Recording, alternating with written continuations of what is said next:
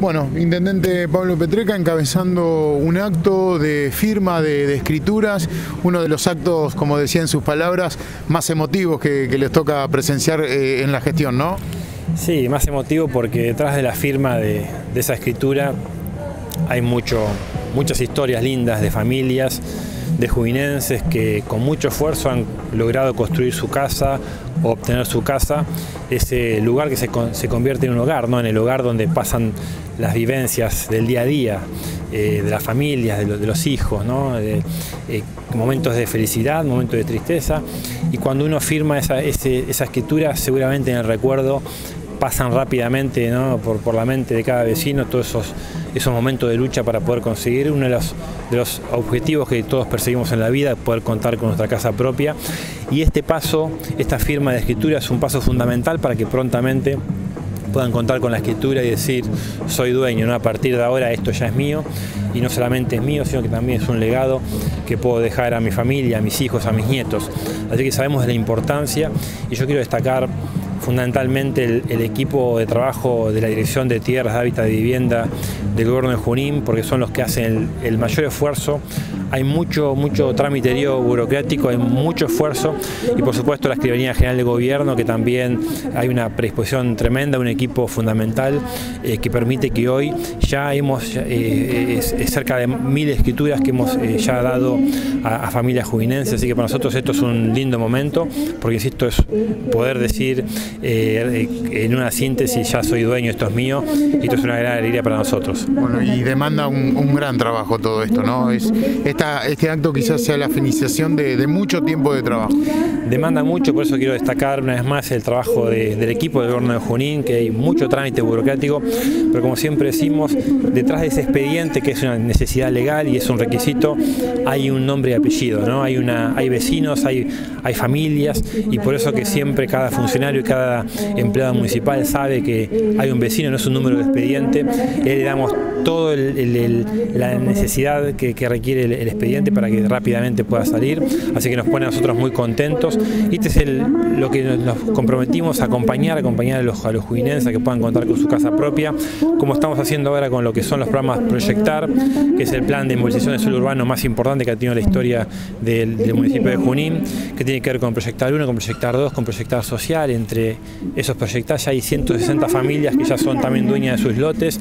Vamos a continuar con este proyecto, con este, esta política de gobierno que permite que más vecinos puedan ser dueños de sus lotes. Así que muy contentos.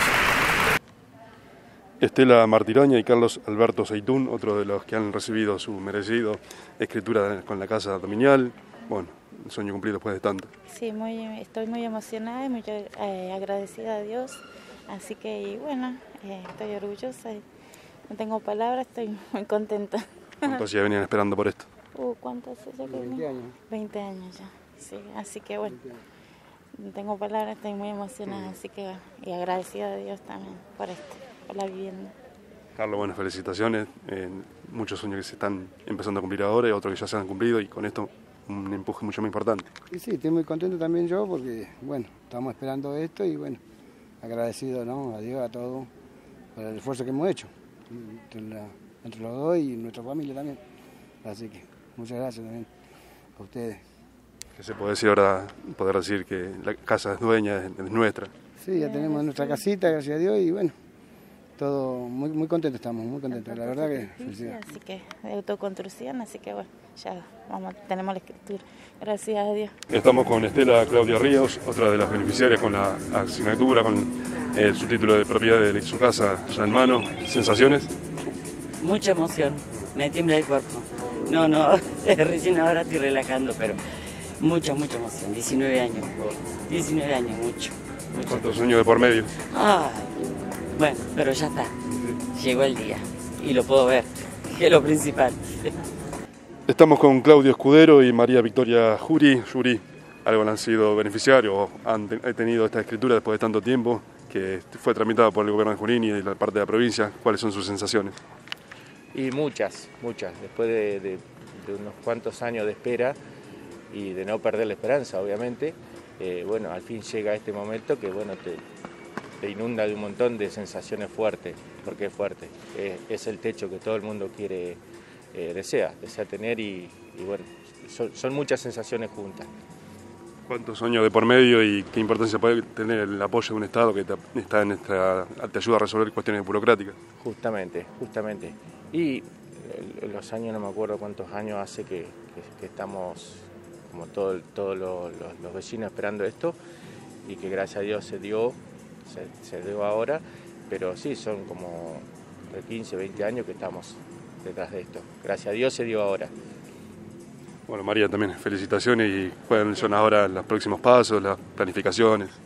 Sí, y bueno, eh, agradecer por todo esto, eh, la espera valió la pena, eh, ya tenemos nuestra casa, totalmente agradecida a todos ustedes y bueno, la fecha es del 2001 nos entregaron las viviendas.